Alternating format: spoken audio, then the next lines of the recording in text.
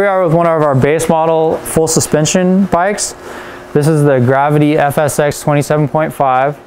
So the difference between this and some of our higher end bikes is going to be that this has spring suspension instead of air.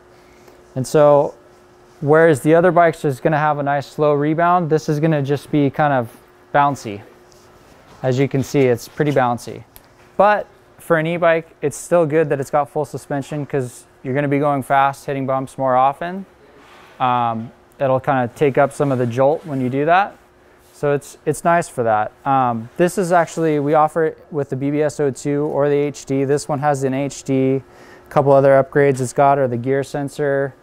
Um, it's got a light on it. This one had a rear light.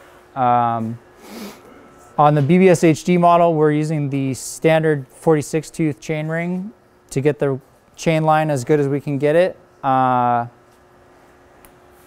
what else can I tell you about this bike? So obviously it's got 27.5 wheels, so a little better for rolling over rough terrain.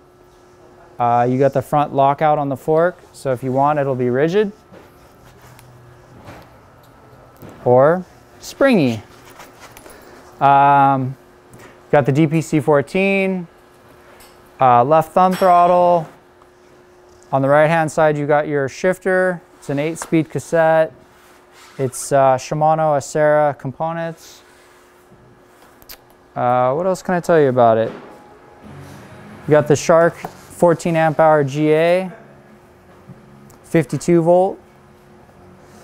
And that's pretty much it. So if you're looking for a base model full suspension, this is pretty much the bike to go with unless you're going to be doing like hardcore riding and then you want to go with something a little higher end. But this is a great starter bike for pretty much anybody as long as you're tall enough to ride this thing. We have to run a little bit bigger frame so that we can fit the battery.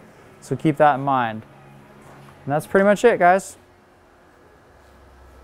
With one of our base model full suspension bikes, this is the Gravity FSX 27.5.